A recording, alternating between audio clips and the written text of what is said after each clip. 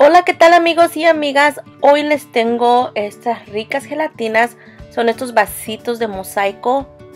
Es una receta muy rica, pero sobre todo es muy económica y es ideal ya sea para ventas de gelatinas o para sus fiestas. Esta receta les va a rendir muchísimo. Estos vasitos son de 5 onzas y en total me salieron 30 vasitos de gelatinas. Bien, los invito a que pasen conmigo a ver los ingredientes y la preparación para estas ricas gelatinas.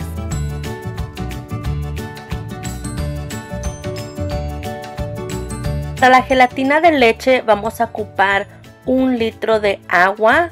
También ocuparemos dos latas de leche evaporada, una lata de media crema y por último vamos a ocupar dos paquetes de gelatina sabor a leche condensada.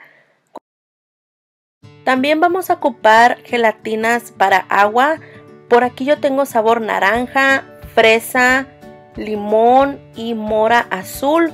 Ustedes pueden usar los sabores de su preferencia. Ustedes van a preparar sus gelatinas tal cual su paquete les indica, pero yo les recomiendo que si les indica usar 4 tazas de agua, Solo ocupen 3 tazas de agua para que su gelatina quede más firme y no quede muy aguadita. Vamos a preparar la gelatina de leche.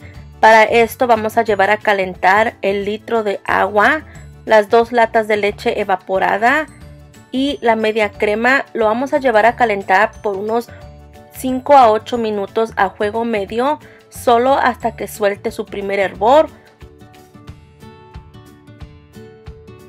Una vez que ya haya calentado perfectamente, ahora le vamos a diluir los dos paquetes de gelatina sabor a leche condensada y vamos a diluir perfectamente hasta que no queden grumos.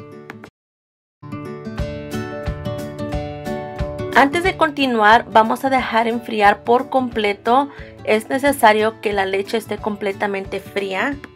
Una vez que las gelatinas de agua ya estén perfectamente cuajadas, vamos a desmoldar y los vamos a cortar en cubitos o cuadritos.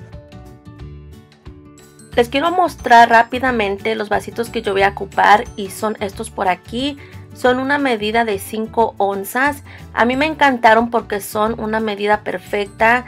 No son unos vasos muy grandes, pero tampoco no muy pequeños. Y son ideales ya sea para fiestas o para vender. Este paquete de vasos yo los encontré en la tienda de Party City y tiene 88 vasos y el paquete cuesta alrededor de 8 dólares. Una vez que la gelatina de leche ya esté completamente fría, ahora sí vamos a pasar a vaciar a los vasos. Quiero que vean que por aquí yo no voy a llenar por completo, solamente voy a vaciar hasta la mitad y de esta manera también vamos a hacer que nos rinda más vasitos de gelatina.